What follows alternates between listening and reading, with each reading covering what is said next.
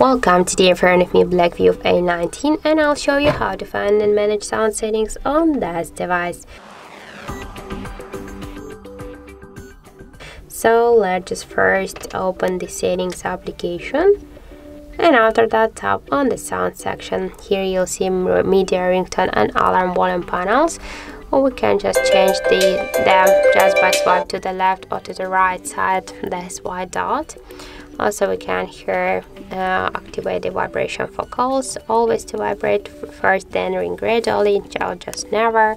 We can turn on or turn off the don't disturb mode to set the schedule the start and the end time of the don't disturb.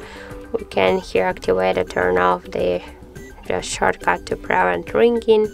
Also we can use the power and volume up buttons together to vibrate or just to mute here we can change uh, here also the device ringtone notification and alarm sounds just by this way.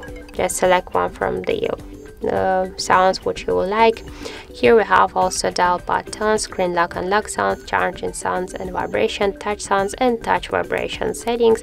We can turn on or turn off all of these options just by click once on each of the switchers. And here in sounds attachments we can also activate and turn off the volume booster for speaker or also hi-fi mode.